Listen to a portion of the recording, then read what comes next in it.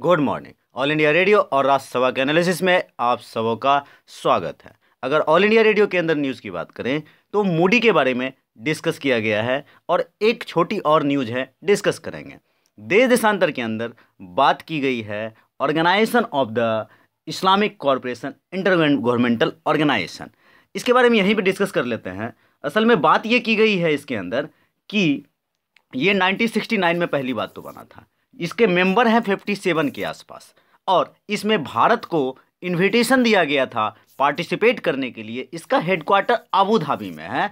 इसी के बारे में बात की गई है। भारत रिप्रेजेंट किया है, सुषमा स्वराज गई थी और इन्होंने टेररिज्म के मुद्दों पे बात की है। बस यही कंटेक्स्ट है और कुछ खास नहीं है। नेक्स्ट बात करें तो सुर्खियों के अंदर, सुर्ख, रेडियो पे आता है, शांति स्वरूप भटनागर के बारे में बात करेंगे। और नेक्स्ट इन डेप्थ के अंदर, विशेष के अंदर द बिग पिक्चर के अंदर, सब के अंदर बात की गई है। अभिमन्यु जो आए हैं, उसके बारे में। कुछ खास इंपॉर्टेंट पॉइंट उसके अंदर नहीं है। तो चलिए डिस्कशन स्टार्ट करते हैं। पहली न्यूज़ हमारे पास यहाँ पर है। यहाँ पर आप देख सकते हो US based Moody agency US based Moody agency है। ये मूडी एजेंसी जो है, सो रेटिंग देती है। पहली बात यूएस की एक मूडी एजेंसी है। इंपॉर्टेंट हो जाता है। ये मूडी क्या है? यूएस की एजेंसी है, जो क्रेडिट रेटिंग देती है।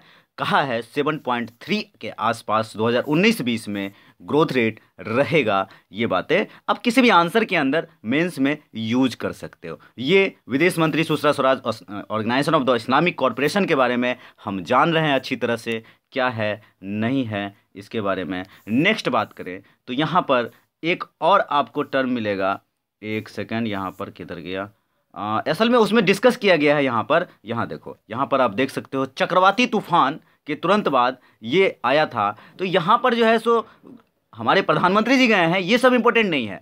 यहाँ पर एक शब्द यूज़ किया गया है, आप यहाँ पर किधर गया? ओखी, आपको याद होगा तो। तो ओखी कहाँ आया था, ये ध्यान रखना। ओखी जो चक्रवात है साइक्लोन है, ये यहाँ पर साउथ में आया था। हमारे भारत का है, ये बात याद रखना आप। नेक्स्ट न्यूज़ की बात करें तो सुर्खियों के अंदर बात की गई है। इसके अंदर बात की गई है शांति स्वरूप भटनागर के बारे में।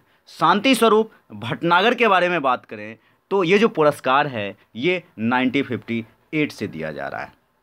ये 1958 से दिया जा रहा है। ये शांति स्वरूप एक बहुत बड़े वैज्ञानिक थे जिन्होंने सबसे पहले शोध किया, लेबोरेटरी बनाने की बात की और ये सीएसआईआर के तहत C S I R central C S I R central science science industrial research जो इसका फुल फॉर्म होता है, ये सी एस आई आर ये नाइनटी फोर्टी टू में बना था, आपको याद हो तो। नाइनटी फोर्टी टू में बहुत इंपॉर्टेंट है सी एस आई आर जो बॉडी है, इस, ये मिल करके देती है। असल में इन्होंने बहुत सारे सेक्टर में प्राइज़ दिया गया है। तो शांति स्वरूप भटनागर प्राइज़ जो है नाइनटी फिफ्टी एट से दिया जाता है। ये बात ध्यान में रखने वाली बात है। असल में ये पुरस्कार उनको दिया जाता है जिन्होंने भारत में ही बहुत सारे शोध किए हो। ये नहीं कि विदेश में जाकर के।